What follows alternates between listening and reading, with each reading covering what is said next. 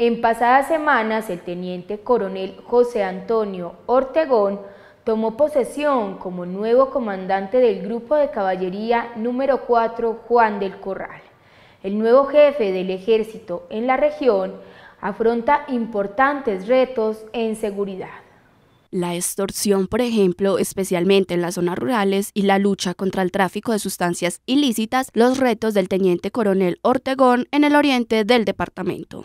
Por parte del Ejército Nacional estamos desarrollando operaciones de la mano con la Policía Nacional, con las demás instituciones, donde hemos logrado acertar golpes muy contundentes a la delincuencia.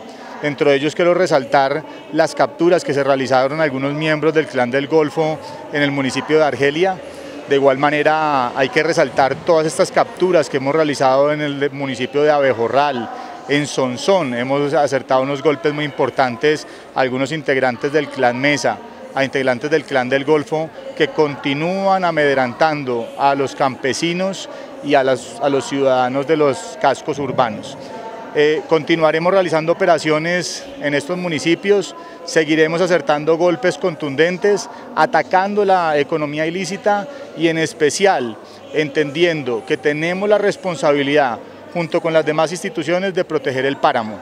Aquí esto es un llamado de atención muy importante para todos los ciudadanos y es de tener confianza en la denuncia, porque tenemos que atacar la minería ilegal, una fuente de financiación ilegal de estos grupos criminales para seguir creciendo seguir amedrantando y seguir sembrando el terror en la comunidad. El comandante del batallón Juan del Corral, con injerencia en el oriente antioqueño, invitó e hizo un llamado a los ciudadanos a denunciar los delitos que se puedan estar cometiendo en la región.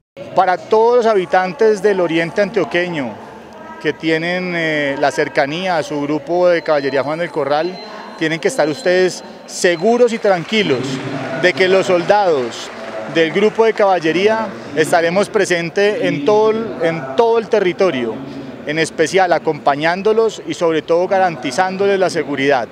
Todos estos resultados que se han venido dando de manera positiva para traer la tranquilidad es gracias y por ustedes, gracias a su información y para que ustedes nos sigan suministrando la misma.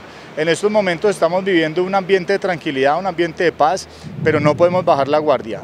Es ahora cuando más tenemos que estar unidos y es cuando más tenemos que tener la presencia de nuestro ejército en la zona rural. El teniente coronel igualmente hizo presencia en la pasada sesión descentralizada de la Asamblea Departamental, escuchando a los alcaldes de la zona.